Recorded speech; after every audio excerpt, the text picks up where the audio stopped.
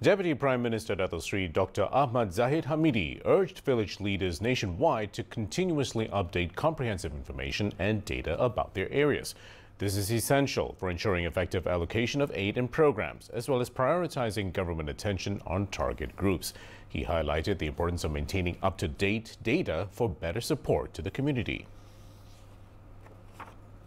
Kedekatan saya, jangan uh, pilih hanya adik-beradik, kaum keluarga, kawan rapat, sedangkan mereka yang memerlukan uh, tidak uh, disantuni. Ya. Jadi pendekatan kita, kita mesti menyantuni uh, mereka yang benar-benar memerlukan uh, yang layak untuk mendapat uh, bantuan untuk untuk diberikan. Ya. Pendekatan ini uh, saya uh, telah lakukan mulai uh, tahun 2023 He said this after attending the 2024 Madani Rural Leadership Empowerment Convention in Bangi Selangor on Monday. The Rural and Regional Development Minister highlighted that with accurate data, the ministry can develop a two-way application to ensure that aid is channeled smoothly without duplication and effectively.